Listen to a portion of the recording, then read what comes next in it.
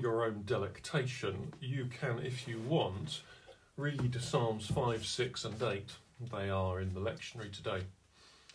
They, uh, and I wanted to offer a little ramble based largely from those Psalms, but actually, really, my agenda is I wanted to talk about expectation. I don't know if you've ever worked in business or, or management or sales.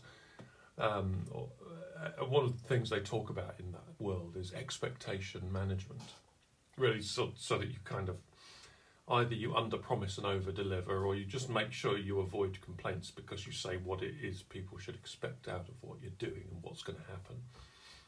It's a very sensible way, I think, of kind of uh, uh, keeping people off your back.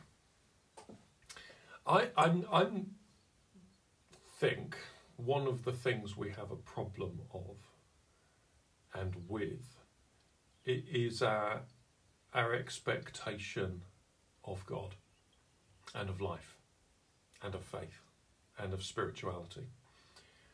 So, like last night, we were uh, doing a study with uh, a few people, um, and you had um, Jesus saying, I- am going to go and die. And um, the Apostle Peter had, had this very kind of fixed perspective that really struggled. He kind of didn't engage with what Jesus said. Instead, Peter engaged with his own agenda.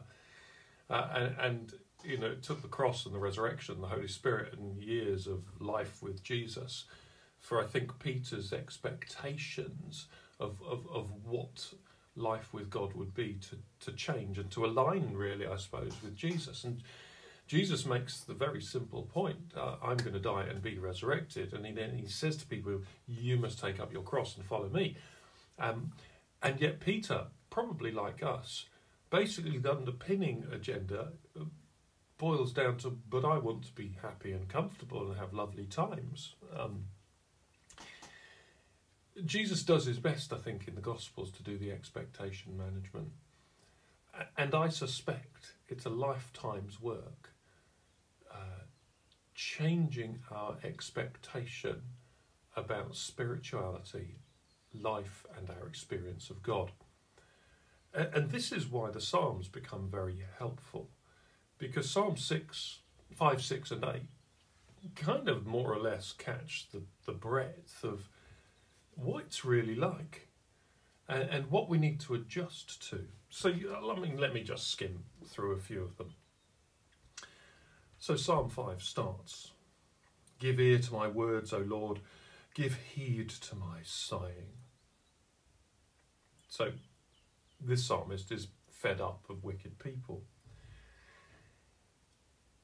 But then he talks about bowing down towards God's holy temple in awe of you. So, on one level, he's got kind of disappointment and despair in his prayer, and the other is that he's doing awe and reverence.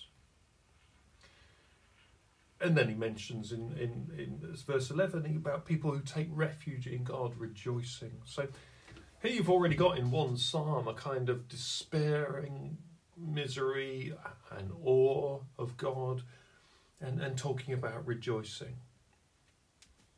But at the under the underpinning is, is just his angst about the society he's in. And then in Psalm 6, where he lands, O Lord, do not rebuke me in your anger or discipline me in your wrath. So you've got this kind of character, fearful, uncertain, not, not knowing how to feel. He's saying, talks about his bones shaking with terror. Bear in mind, this is a worship song. This is a prayerful song. And, and he's, he's fearful of death. And he says, I am weary with my moaning. Every night I flood my bed with tears. Now, this isn't the kind of what we expect out of prayer and worship, is it? But here we have it in the Psalms. And then we get to Psalm 8. And, and this is really a, a high worship song. O Lord, our sovereign, how majestic is your name in all the earth. And so his mind has shifted from this kind of despair and self loathing and fear and moves to this God is enthroned and the world is an amazing place. And I guess I'm simply pointing out that this is the life of faith. This is the following of God.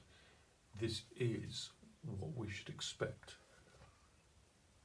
And I suspect we need reminding of this because mostly, if you're anything like me, what you want is peaceful and joyful and well, and the world to be right, and uh, God to be in his heavens, and God's creation to be functioning in line with that, and etc. etc.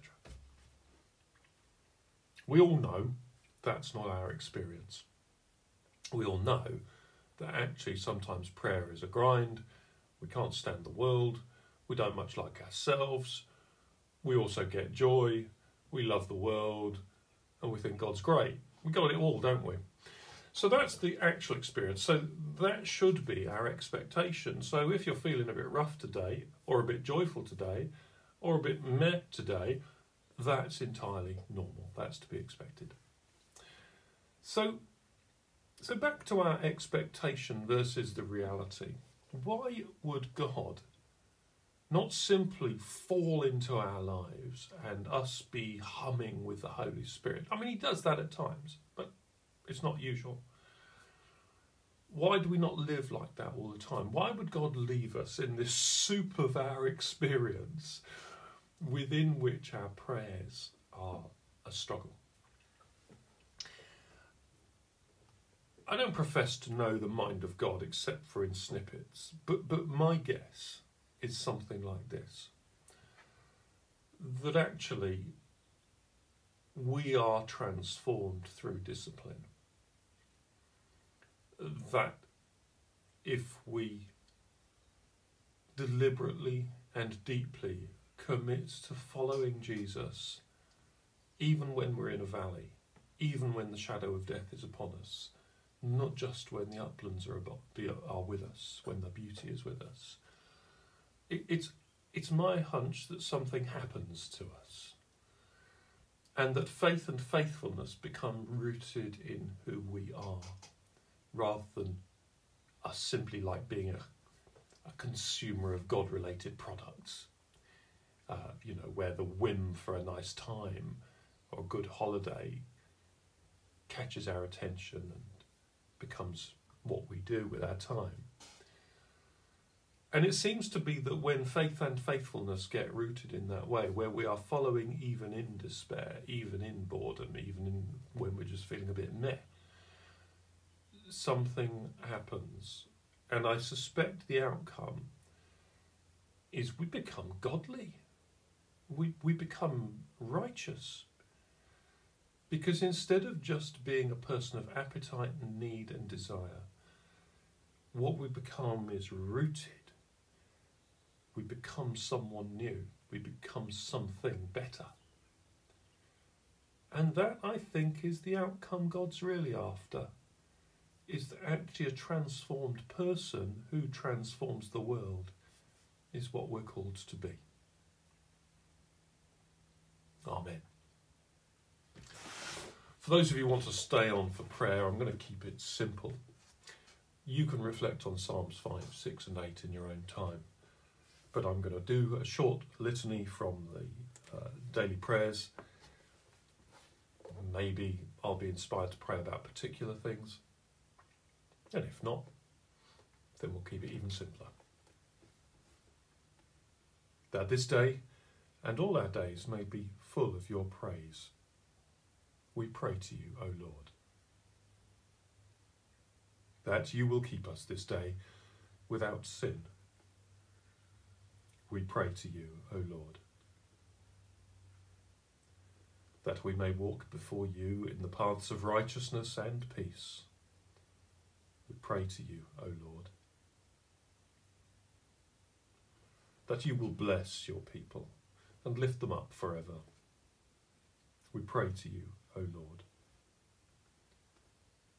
That you will guide and protect us by your Holy Spirit and bring us with your saints to glory everlasting. We pray to you, O Lord.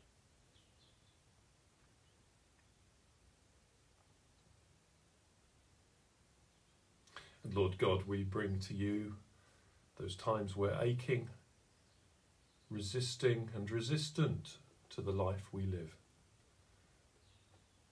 And we pray to you, O Lord, that you help us keep our eyes fixed on Jesus, the author and perfecter of our faith. Let's join together in the Lord's Prayer. Our Father, who art in heaven, hallowed be thy name. Thy kingdom come, thy will be done, in earth as it is in heaven. Give us this day our daily bread, and forgive us our trespasses, as we forgive them who trespass against us. And lead us not into temptation, but deliver us from evil. For thine is the kingdom, the power, and the glory, for ever and ever. Amen. Righto, services this week. I'll be over in Kimbolton doing Holy Communion, 10.30 on Wednesday. We've got uh, probably Jill and Pamela doing uploads on Thursday, Friday. Uh, and we're over at Barham for our Holy Communion service, uh, 10.30 or maybe 11, probably 10.30 on Sunday. God bless you all, um, and I'll see you soon. Cheers now. Bye-bye.